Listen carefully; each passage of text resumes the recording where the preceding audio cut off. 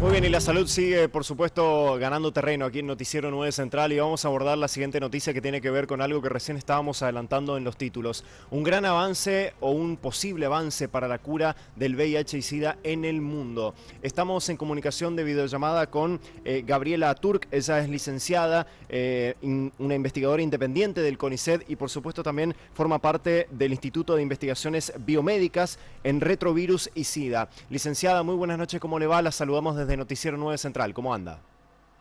Hola, ¿qué tal? Muy buenas noches. Buenas noches, muchas gracias por, por, su tiempo y por la deferencia, eh, licenciada. Bueno, eh, lo primero que hay que eh, informar a la gente es, bueno, un caso muy, muy importante y que seguramente va a ser objeto de estudio, ¿no? Aquí en la República Argentina con respecto a una posible cura de esta enfermedad, licenciada. Sí, bueno, lo que se publicó en estos días fue un tercer caso de una posible cura de infección por VIH. Es un caso que se suma a otros dos que ya existen en, el, campo de investigación y que, bueno, tiene que ver con personas que vivían con el virus, tendríamos que hablar en potencial, em, vivían con el virus y eh, luego de haber recibido un trasplante de médula ósea habrían logrado la cura de la infección. Son casos muy, muy particulares, son casos excepcionales. Estamos hablando de tres casos en 48 millones de personas que viven con VIH en el mundo. Así que si bien lo tomamos como buenas noticias en el área de, lo que es la investigación en, este campo en particular, y, obviamente todo el colectivo de la sociedad y el colectivo de personas que viven con VIH lo toman como, como con mucha esperanza, también hay que ser un poco cauteloso, ¿no? Son los primeros pasos que se dan en este sentido. Licenciada, ¿y qué tiene de particular, eh, por lo menos a priori, ¿no? estos tres casos en, relación a, los tantos millones ¿no? que se dan en el mundo? Bueno, lo primero que hay que entender es que son personas que vivían, que tenían la infección por VIH y además desarrollaron eh, algún tipo de cáncer hematológico, ya sea un linfoma y una o una leucemia. Y por ese tipo de, cáncer necesitaron un trasplante de médula.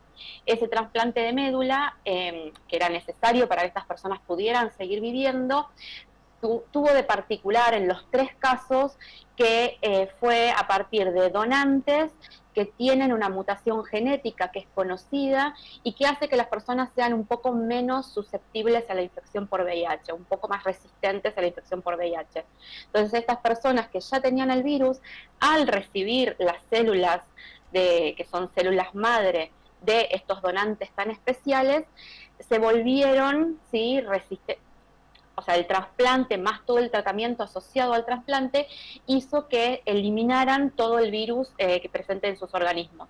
Los tres casos se los estudió durante muchos años, por eso podemos decir que son casos de cura, ¿no? Porque el paciente de Berlín, que fue el primero, vivió más de 12 años post-trasplante.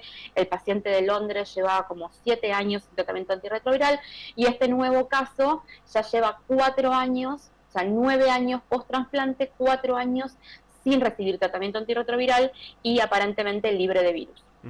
Licenciada, el caso particularmente de aquí del paciente de, nuestro país, de la Argentina, eh, ¿este trasplante ya se hizo conociendo los dos casos anteriores o, fue casualidad que se dio justamente este, este patrón o este denominador común que lo iguala justamente al resto de los otros dos casos?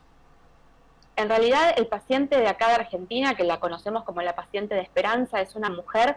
ese caso se considera un caso de cura espontánea, ¿sí? que es tenemos a nivel mundial el caso de Esperanza y el caso de la mujer que se conoce como la paciente de San Francisco. Esas dos personas son también muy especiales porque habrían logrado la cura de la infección, pero de manera espontánea sin necesidad de un trasplante.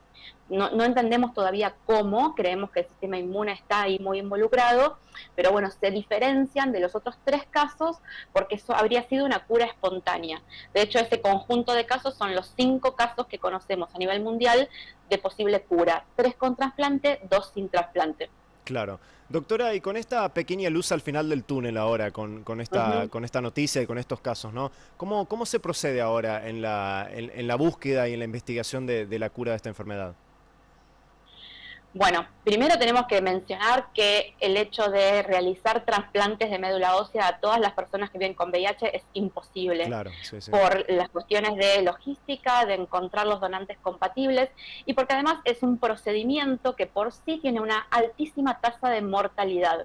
¿sí? Un trasplante de médula ósea no es, no es una, un tratamiento corriente que se podría aplicar a todo el mundo. ¿sí? Con lo cual, como decía antes, estos pacientes necesitaban el trasplante para seguir viviendo, por eso se pudo hacer.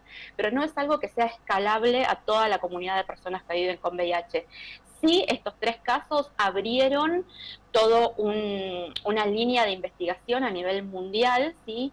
que tiene que ver con la modificación de las células, terapia génica, cosas que se están haciendo en el ámbito de cáncer que se quieren trasladar al ámbito de VIH para tratar justamente de lograr un tratamiento que sea de aplicación más masiva. Obviamente para esto todavía falta, ¿sí? el mensaje que tenemos que dar es justamente esto, no es algo que, que va a estar disponible para todo el mundo ni el año que viene, ni el otro, ni el otro, seguramente. ¿sí? Hoy en día tenemos que seguir hablando de prevención, tenemos son enfermedades eh, prevenibles, ¿sí? VIH, otras enfermedades de transmisión sexual, que tenemos métodos de, prevención distintos para distintas personas y distintos... Eh, tipos de comportamiento o, actividades, digamos, que puedan llegar a realizar y que necesiten distintos métodos de prevención. Para las personas que ya están infectadas, hay tratamientos efectivos que son muy, muy buenos, ¿sí? más fáciles de tomar que hace mucho tiempo, con menos toxicidad, que le permiten tener una buena calidad de vida. Así que por ahora nos tenemos que eh, aferrar a eso, mientras tanto se sigue investigando en este tema. Licenciada, le agradecemos muchísimo eh, por este contacto con Noticiero 9 Central. Ha sido muy amable y por supuesto vamos a estar siguiendo muy de cerca este tema con esta pequeña luz de esperanza ¿no? que se ha encendido en todo el mundo. Muchas gracias. por favor, muchas gracias a ustedes. Buenas noches. Buenas noches, muchas gracias. Muy bien, así pasaba la licenciada eh, Gabriela Turk, quien es justamente investigadora independiente del CONICET con respecto a este caso de aquí, este, esta paciente en la República Argentina, que se ha sumado a estos dos casos a nivel mundial, tanto en Berlín, en la capital de Alemania, como en Londres, capital de Inglaterra, con respecto a esta cura justamente del VIH.